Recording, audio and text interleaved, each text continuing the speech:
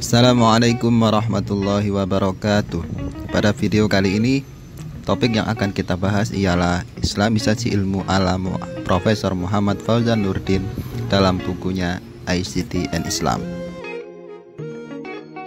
Ilmu pengetahuan dalam konteks dunia modern dinilai mengalami kekeringan spiritual.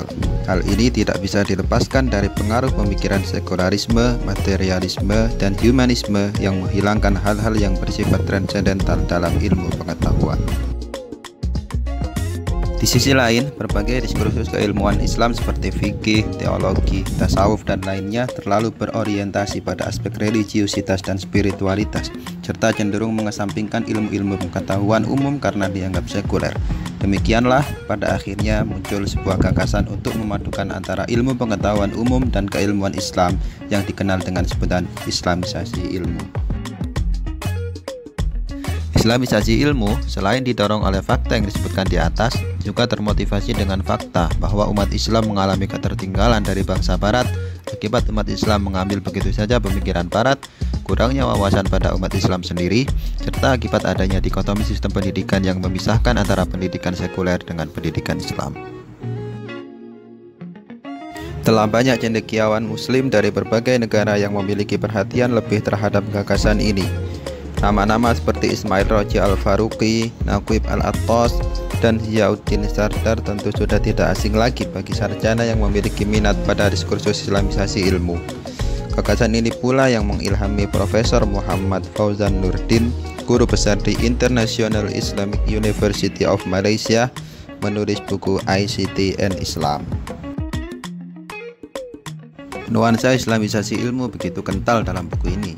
Fauzan Nurdin sendiri menyatakan dalam kata pengantar bukunya bahwa buku tersebut ditulis untuk menjawab panggilan gagasan Islamisasi ilmu. Islamisasi ilmu sendiri bagi Fauzan bermakna sebuah usaha untuk memahami ilmu pengetahuan berdasarkan perspektif Islam.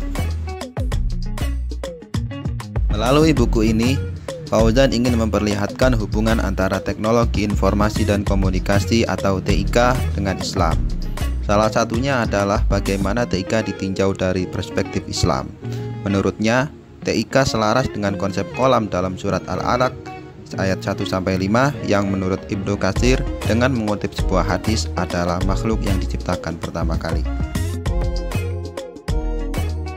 TIK sebagaimana kolam memiliki fungsi yang sama. Jika kolam digunakan untuk menulis, mencatat, dan menyebarkan ilmu pengetahuan di masa lalu, maka demikian pula TIK digunakan untuk memudahkan dan membantu manusia melakukan hal-hal tersebut di masa kini. Dengan demikian, TIK juga termasuk anugerah yang diberikan Allah Subhanahu wa taala kepada manusia yang tentu harus dimanfaatkan untuk kemaslahatan seluas-luasnya. Untuk mendukung pendapat tersebut, Fauzan memberikan sebuah konsep tentang perangkat utama dalam TIK. Jika sebelumnya perangkat utama TIK terbagi dua, yakni hardware dan software, maka Fauzan menambahkan satu perangkat lagi, yakni peopleware, yang tak lain adalah manusia sebagai pengendali TIK itu sendiri. Menurutnya, agar TIK digunakan dengan baik dan tidak disalahgunakan, maka TIK harus dikendalikan oleh peopleware yang memiliki kesadaran yang tinggi akan penggunaan TIK untuk kemaslahatan, bukan untuk merugikan orang lain. Oleh karena itu, selanjutnya Fauzan mengatakan bahwa peopleware yang baik tentu didukung perangkat yang baik pula di dalamnya yang ia sebut dengan hardware.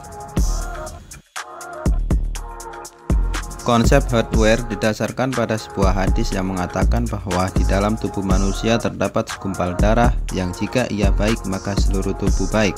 Begitupun sebaliknya. Segumpal darah itu ialah hati. Untuk membentuk hati yang baik, ia harus dihiasi dengan keimanan dan ketakwaan yang selanjutnya akan membuahkan perilaku yang baik yang tercermin dalam setiap perbuatan yang dilakukan, termasuk dalam menggunakan TIK. Di era kemajuan teknologi seperti sekarang ini, TIK tentu memiliki kedudukan yang sangat penting dalam perkembangan Islam itu sendiri. TIK dapat digunakan sebagai sarana dakwah serta berbagai hal bermanfaat lainnya. Salah satu TIK yang cukup digemari sebagai media atau sarana dakwah adalah media sosial.